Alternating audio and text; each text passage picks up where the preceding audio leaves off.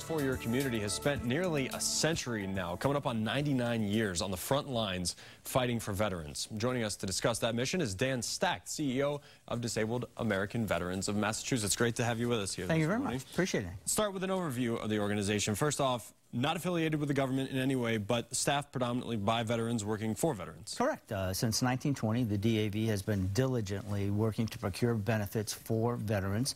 Uh, we do that through our National Service Officer Program. Uh, they're like trained uh, workman compensation attorneys, so if a veteran is injured, either physically or with hidden wounds, we actually take their case before the Veterans Administration to get them their proper compensation. Also, we have a transportation program that uh, basically tours the state of Massachusetts. Uh, we have six, we have 26 vans in action right now, taking veterans to and from their VA medical appointments.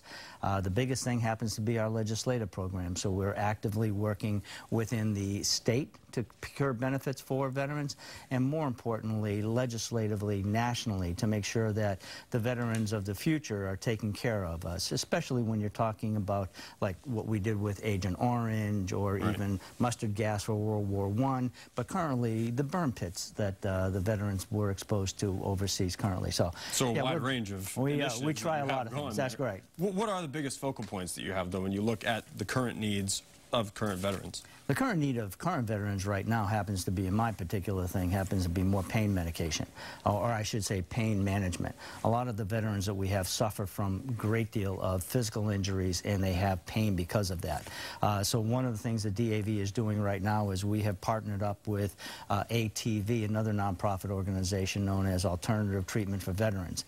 And through a study that is being conducted by the Cannabis Community Care and Research Network, we're trying to show that veterans do use cannabis in order to help themselves with pain management and also with post-traumatic stress disorder.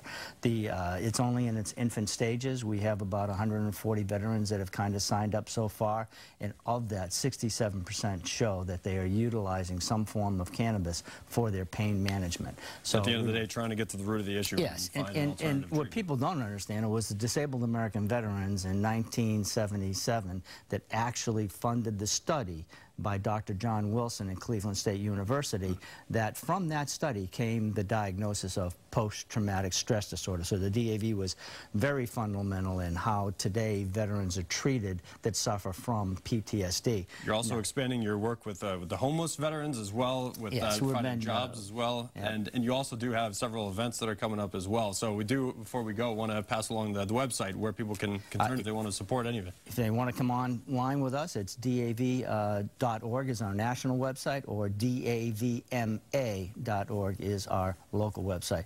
And yes, we're, when you talk about fundraising, all these programs do take money. We're very fortunate that Liberty Mutual Insurance Company has uh, a Liberty Mutual Invitational, and that uh, that's going to be on May 20th at Granite Links, and all those proceeds go into our transportation program. I told you three minutes would fly by with yeah, all that you it. did have to yeah, talk yeah. about. Cannot thank you enough thank for running through what Appreciate DAV it. is all about. Much appreciated. We'll be right back. Thank you.